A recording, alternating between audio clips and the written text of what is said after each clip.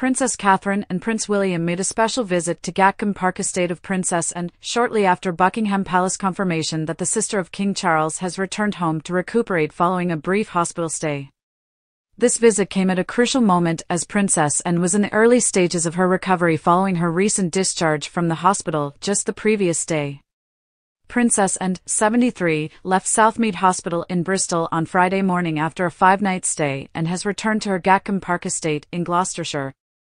She was admitted on Sunday evening after sustaining head injuries and concussion in an incident involving a horse on June 23. The princess suffered from temporary memory loss in relation to the incident, meaning that the specific details about what happened were not immediately ascertained. There were no apparent witnesses to the accident. Princess Royal, known for her dedication to public service and her active lifestyle, has always been a pillar of strength within the royal family. Her recent health scare, therefore, prompted an outpouring of support and well wishes from both her relatives and admirers worldwide. Princess Catherine, known for her compassion and empathetic nature, brought a sense of warmth and comfort to the visit. Her conversations were filled with genuine concern and empathy, offering words of encouragement and support. It was clear that her presence brought much needed solace to Princess Anne, who has been a pillar of strength and resilience within the royal family. Prince William, ever the dutiful nephew, mirrored his wife's sentiment. His interactions with Princess Anne were a blend of respect and affection, underscoring the deep familial ties that bind them. The visit by Princess Catherine and Prince William was not just a formal obligation but a testament to the close-knit bond shared by the royal family. It was a demonstration of solidarity and love, illustrating that even amidst their numerous duties and responsibilities, the royal family prioritizes personal connections and support for one another. Princess Anne's return to Gatcombe Park marks the beginning of her healing process. The Princess Royal is now continuing her recovery at home and receiving rehabilitation support.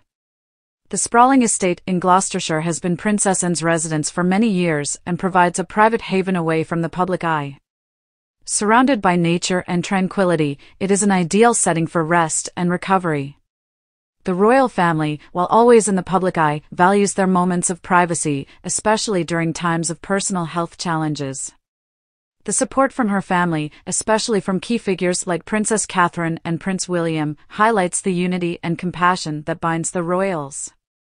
The palace has also reassured the public that Princess Anne is receiving the best possible care and attention during her recovery.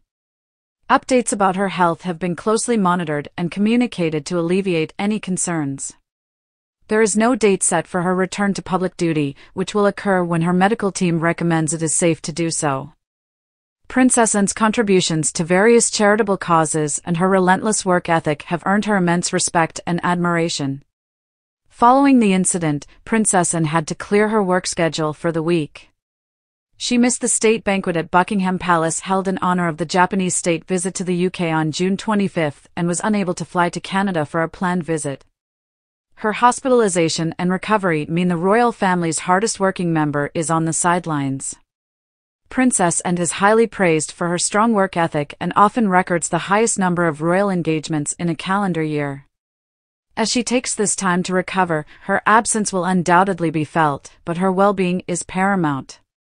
The royal family's collective focus remains on her full and speedy recovery.